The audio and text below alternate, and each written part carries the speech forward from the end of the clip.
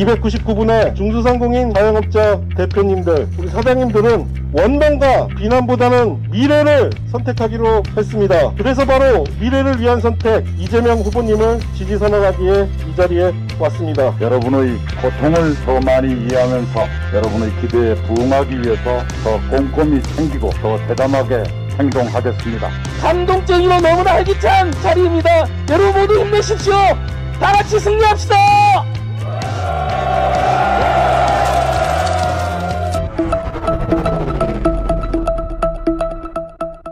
299분의 중소상공인 자영업자 대표님들, 우리 사장님들은 원망과 비난보다는 미래를 선택하기로 했습니다. 그래서 바로 미래를 위한 선택 이재명 후보님을 지지 선언하기에 이 자리에 왔습니다. 이낙연 총괄선대위원장님의 환영사 듣도록 하겠습니다.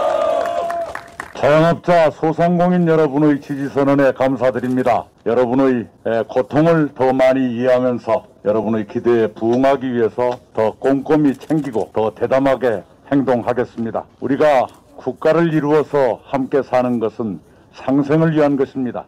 어느 한쪽만 좋고 다른 쪽은 나쁘기 위해서라면 굳이 이런 틀을 만들지 않았을 것입니다. 상생은 국가의 기본입니다. 그러나 현실은 늘 상생을 위협하는 그런 방향으로 흐르곤 합니다. 그런 흐름 속에서 민주당은 그래도 상생을 위해서 조금 더 노력한 편이었고 특히 자영업자 소상공인 여러분과는 함께 하려고 많이 노력했다는 것을 저희들 자부하고 있습니다. 부족한 점이 많습니다만 그럼에도 불구하고 큰 정책의 흐름에서 저희들은 자영업자 소상공인 등 서민과 약자들을 더 많이 도와드려서 우리 대한민국이 상생의 그런 국가가 되도록 하는데 더 많은 관심을 가지고 있다. 이것은 틀림없는 사실이라 생각합니다.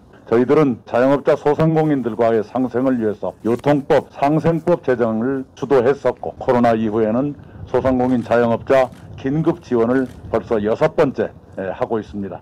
이번에는 여러분 아시는 대로 332만 명의 자영업자 소상공인 여러분께 1인당 300만 원씩을 일률 지원하고 요양보호사, 프리랜서, 특권노동자 등께도 별도의 지원을 하는 것으로 추정을 편성해서 집행하고 있습니다.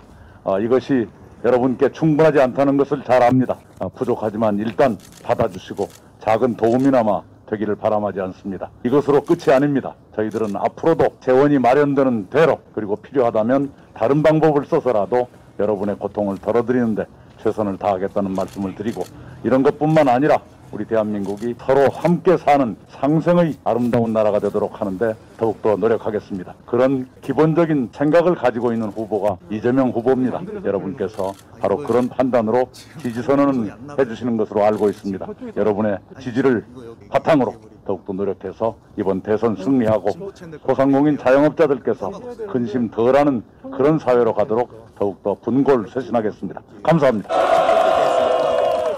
농자 천하지대본이란 말이 있는데 사실 한국 경제가 수출 대기업이 잘하고는 있지만 그것이 위험할 때 내수 경제가 활성화돼 우리 중소기업 중소기업 사는 것이고 그에 고용도 있는 분들이 사는 것이고 그래야 한국 경제가 지속 가능한 발전이 가능합니다.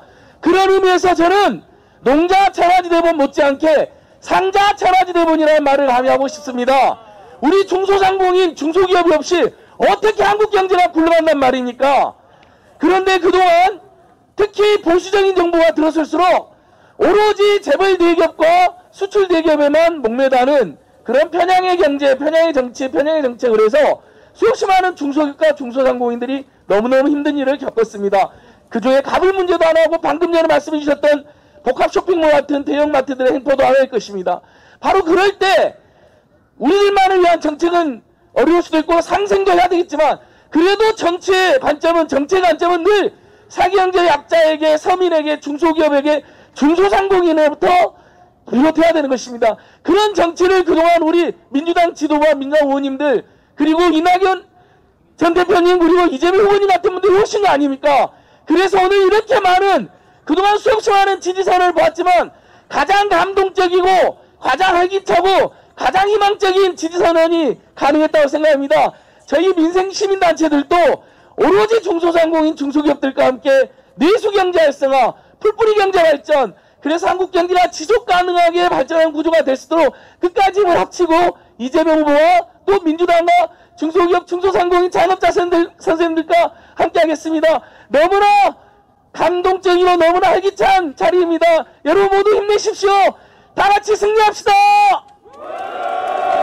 대통령 선거는 미래를 위한 선거이며 위기에 빠진 중소상인 자영업자를 위해 선택할 수 있는 가장 능력 있고 경험 있는 후보가 바로 이재명 후보이기 때문입니다. 이재명 후보는 경기도지사 시절 도정을 책임지며 그 누구도 하지 못했던 골목 상권 보호와 활성화를 위한 공격적인 정책들을 펼쳐왔습니다. 가맹점, 대리점, 플랫폼 이용 사업자, 임차 상인들의 을들의 권리 보호를 위한 행정을 폈고 지역사랑 상품권 활성화를 위한 골목 경제 선순환 구조를 구축했습니다. 예, 긴 시간 함께 해 주신 여러분 감사합니다.